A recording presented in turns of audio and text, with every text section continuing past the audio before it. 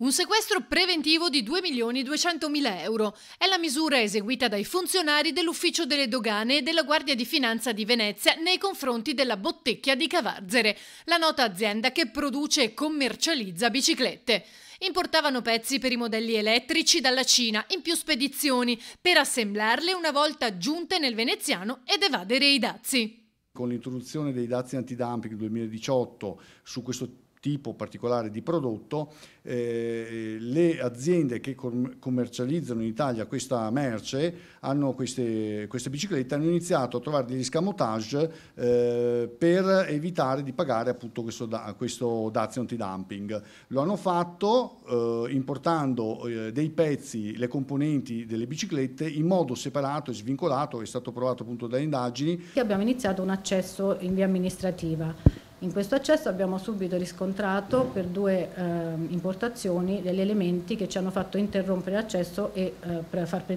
pensato di predisporre appunto una notizia di reato per ehm,